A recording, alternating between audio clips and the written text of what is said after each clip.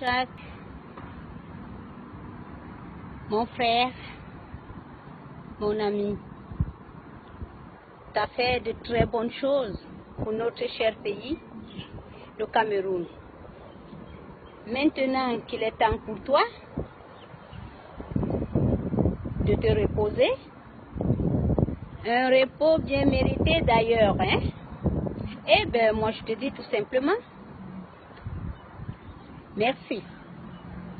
Et puis, je confirme ma présence à ton jubilé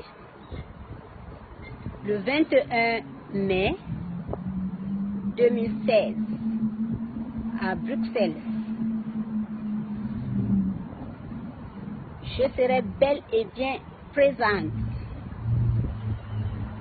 Salut à toute ta famille. Joséphine Bayang depuis Singapour. Salut Jean-Jacques. À très bientôt.